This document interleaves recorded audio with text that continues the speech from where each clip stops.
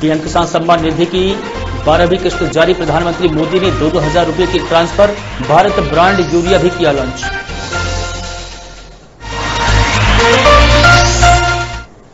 दीपावली से पहले न्याय योजना के हितग्राहियों को मुख्यमंत्री का तोहफा। खाते में अठारह सौ छियासठ करोड़ रुपए की ट्रांसफ़र। सीएम बोले, त्योहार के पहले बाज़ार की बढ़ेगी रौनक।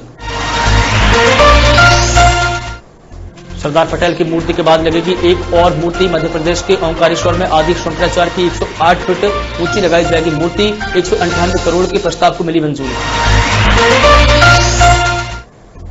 मध्य प्रदेश में तीन हुक्का बार को प्रतिबंधित। गृहमंत्री नरोत्तम मिश्रा ने दी जानकारी। हुक्का बार की बढ़ाई जाएगी और सजा।